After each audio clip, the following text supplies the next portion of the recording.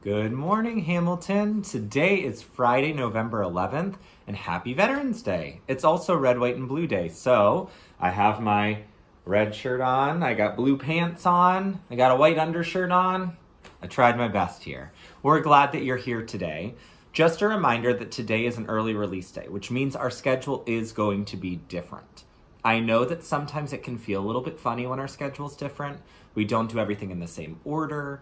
We're going to have to be flexible. We're going to have to have grit to push through this. And we're also going to have to trust our teachers that we know they're going to make sure we get everything that we need today. I know that it can feel very different, but I, I know that you all are up for the challenge and you all can do it. Just because it's a different day doesn't mean we don't work hard and be kind, right? Ms. Cashman's class did a great job of that yesterday. They had a different afternoon. Ms. Cashman had to had to leave for an appointment and they had three different teachers in. So Ms. Carter Mann was in for them a little bit, Mr. Kilmer was in for them a little bit, and Ms. Musser was in for them a little bit. And they were very flexible. They were so well behaved. They did the work they needed to do, even though their teacher wasn't there. And they had a lot of different teachers all afternoon.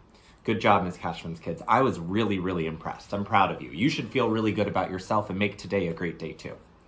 All right, we have some birthdays to celebrate this weekend we have Lily Potter, Miss Kinser's class. She, her birthday's tomorrow. So is Jaquan Fenner's birthday in Ms. Shoemaker's class. His birthday's tomorrow too. And then we also have uh, Millie's birthday is on is on Sunday. So happy birthday, Millie. We hope you guys have great birthday weekends. All right, we have our vocabulary winner. Our word was angle, remember?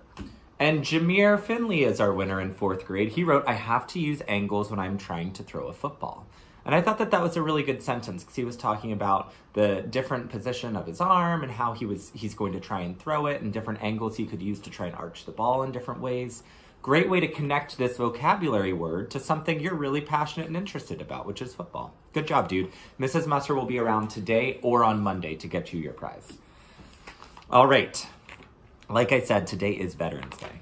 So, it really goes hand in hand with our core essential of courage because if you are a veteran, that means you served in the in the military, and that means you probably had a lot of courage in order to do that. At some point today, your teachers are going to be showing you some slides about Veterans Day, and it's a really good opportunity to stop and to think about the important sacrifices that people who are in our military make for us. And how Veterans Day is a great day to pause and remember how important they are and how important they are to our country. So I really hope you take that time to really seriously think about Veterans Day.